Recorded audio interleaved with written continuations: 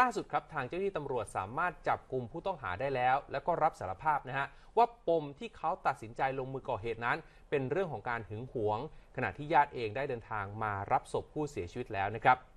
ล่าสุดครับทางตำรวจนครบาลพญาไทนะฮะได้คุมตัวนายดนุสรณ์นุ่มเจริญนะครับคนนี้ฮะเป็นผู้ต้องหาที่ก่อเหตุยิงอดีตภรรยาเสียชีวิต ภายในสถานเสริมความงามในห้างสรรพสินค้า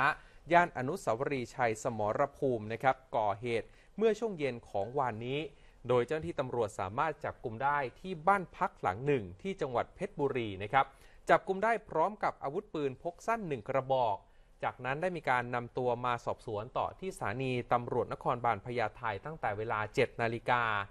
โดยในเวลา 13 นาฬิกานะฮะ ทางท่านผู้บัญชาการตำรวจนครบาลกำหนดการว่าจะมีการถแถลงผลการจับกลุ่มที่กองบัญชาการตำรวจนครบาลนะครับ โดยพลตำรวจตรีสุคุณพรมมายนรองผู้บัญชาการตำรวจนครบาลเปิดเผยนะครับว่า เบื้องต้นเนี่ยผู้ต้องหาให้การรับสารภาพว่าสาเหตุมาจากความหึงหวง ซึ่งจากการตรวจร่างกายของผู้ต้องหาเองก็ไม่พบสารเสพติดนะครับส่วนปืนที่ใช้ก่อเหตุนั้นเบื้องต้น พบว่ามีทะเบียนจริง แต่อยู่ในระหว่างการตรวจสอบว่ามีการสวมทะเบียนหรือไม่ ส่วนตัวนายดนุสรณ์ชื่นชอบ และสะสมปืนมีอยู่ด้วยกัน 3 กระบอกนะฮะ ส่วนจะมีการนำไปชี้จุดเพื่อทำแผนประกอบรับคำรับสารภาพหรือไม่นั้นนะฮะยังอยู่ระหว่างการพิจารณา ขณะที่วันนี้ครับในส่วนของญาติผู้เสียชีวิตเองได้เดินทางไปติดต่อขอรับศพนะฮะที่โรงพยาบาลรามาธิบดี เพื่อที่จะนำกลับไปประกอบพิธีทางศาสนาที่จังหวัดตาก โดยพี่สาวของผู้เสียชีวิตระบุนะครับว่าผู้เสียชีวิตเนี่ยได้อยู่กินกับผู้ต้องหาเป็นเวลา 5-6 ปี โดยน้องสาวของตนเองนั้นถูกทำร้ายร่างกายมาโดยตลอด และเคยมีการข่มขู่ ว่าหากนำเรื่องดังกล่าวไปบอกญาติพี่น้อง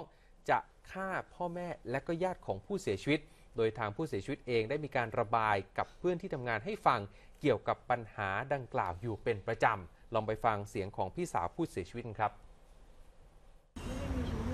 ไม่มีค่ะ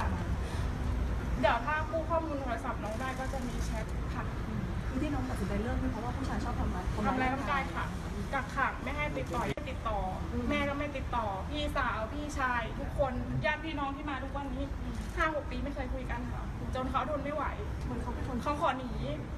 เขาพี่หึงอะ น้องสาวส่งข้อความไปปีใหม่บอกว่า เออ หนูหนูไม่ไหวแล้วหนูขอหนี ไม่งั้นมันต้องฆ่าหนูตายแน่ๆเลย คือเขาระบายกับเรามาตลอดค่ะ แล้วผู้ชายก็โทรไปขู่ฆ่าพ่อแม่เขาหนีไปอยู่ชลบุรีทางนี้นะครับสำหรับนายดนุสรณ์นะฮะผู้ต้องหาคนดังกล่าวเนี่ยถูกแจ้งข้อหารวม 5 ข้อหาด้วยกัน ก็คือฆ่าผู้อื่นโดยไตรตรองไว้ก่อน พยายามฆ่าผู้อื่นโดยไตรตรองไว้ก่อน มีอาวุธปืนและเครื่องกระสุนปืนไว้ในครอบครอง โดยไม่ได้รับอนุญาต พกพาอาวุธปืนไปในเมือง หมู่บ้าน หรือทางสาธารณะ โดยไม่มีเหตุอันสมควร และโดยไม่ได้รับอนุญาตให้มีอาวุธปืนติดตัว และมีการยิงปืนซึ่งใช้ดินระเบิด โดยใช่เหตุในเมืองหมู่บ้าน หรือที่ชุมนุมชนนะครับนี่เป็นข้อหาที่ทางเจ้าหน้าที่ตำรวจ ได้มีการแจ้งข้อกล่าวหาต่อผู้ลงมือก่อเหตุดังกล่าวนะครับ